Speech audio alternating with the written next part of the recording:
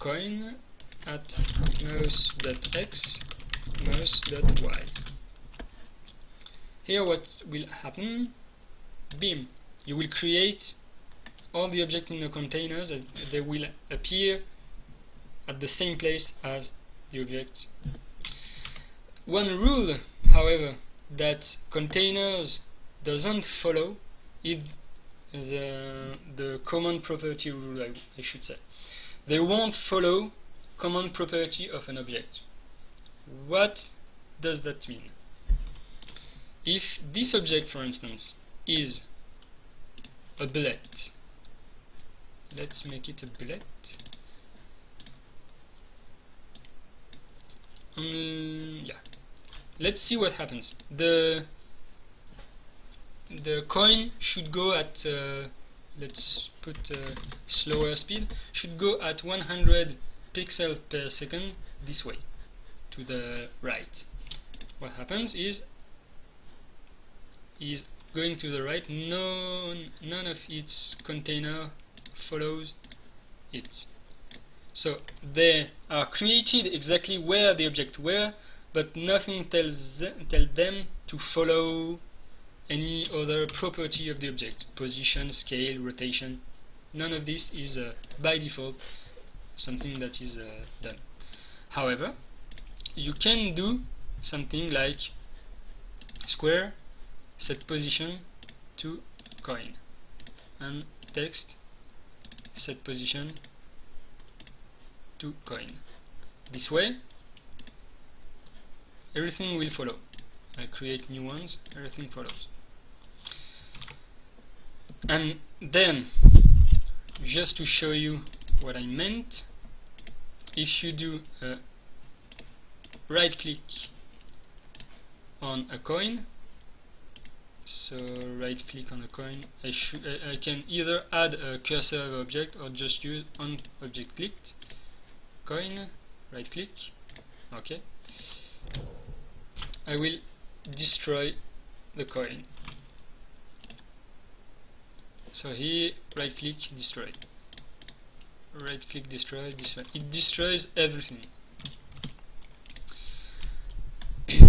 And last uh, little thing yeah I could uh, also do destroy square. It will do the same thing. Up, destroy destroy. I could here create a square instead of a coin. It will do exactly the same thing so yeah. Uh, for creation and destruction there are uh, consider you can consider the the object type in a container as only one object as far as creation as creation and destruction goes. And as far as picking goes as well. Now you've seen picking works here but it's kind of uh, it follows the destruction rule. So it's not really uh, what shows you picking. What can show you picking is I have a value here. Um, let me see. Value. It's a number. And uh, on start of layout uh, no on creation I set the coin value to something random. Random. Between uh, 20 to 30 and I floor so I have a, a, a whole number or a round rather. Okay. Here if there wasn't in a container every coin would be picked and you would change the value of every coin. Let's show this value in the text box. Set text to coin.value and uh, since text is in container with coin the text will know which coin value to to print to display. Here 0 okay. You see it's working so here when I create the square, the square is picked. It's something that uh, always happens with the creation uh, function. It's a special feature. When you create an object, this object is by default picked, and even if you have uh, if you have uh, tons of square picked from the event, when you create an object square, every other square will be discarded, and you will have this new square picked. So since you have this new square picked, its object in containers is also picked and you can set its value. That's uh, that's the neat thing about uh, containers. Uh, what can you what can you do? You could do uh, something like uh, let's add another duplicate and set it to blue. Which one is to blue? The last one. And uh, mm, animation speed to zero. And you can do something like uh, if coin value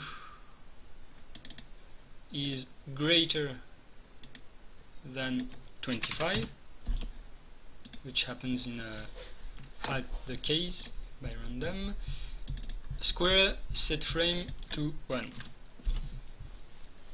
if there weren't in a containers uh, every square will be switched to 1 if only one coin is over 25. But here you can see it happens only for those who, who have a coin of value greater than 25. So you have this picking I was talking about. I picked some coin and I picked the respective square in the container. That's in a nutshell that all you the feature you can get from a container. Before container existed you could do something uh, close to this by using uh, something called uh, I, I call myself auto matching which uh, usually you uh, and it's uh, it still works I can make this exact thing work without um, containers by using uh, some kind of auto matching but I would have to create the three objects myself, destroy them myself, check uh, the pairing via the instance ID, it's a bit more complicated. You would have to use some for each for this one, etc. So containers uh, even if they aren't uh, necessarily uh, uh, even if you could do the same thing you, even if you can do the same thing without them they really um, help you to uh, to get rid of extra complicated stuff in your event sheet sometimes however containers isn't the solution because as you can see there's a constraint, uh, a kind of tight constraint between the two objects is that, for instance, this object can't have more than one. If you want to make a, a, a, kind of car, for instance, you can you can't have uh, a generic um, tire um, uh, a generic tire uh, um, object. Sorry, I'm losing my voice. you can't have a generic tire object. You will either have to uh, give up on using um, containers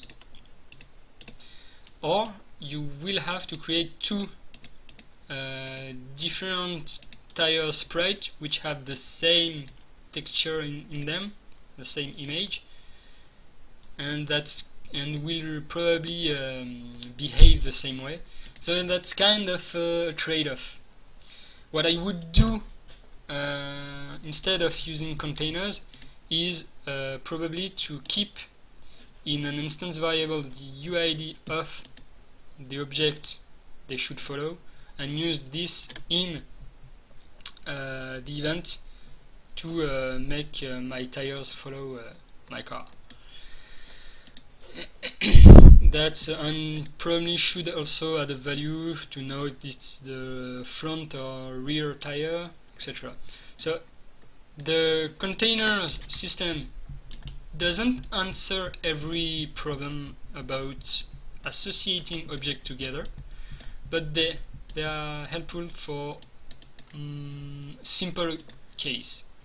And we'll see this simple case in uh, in our platformer.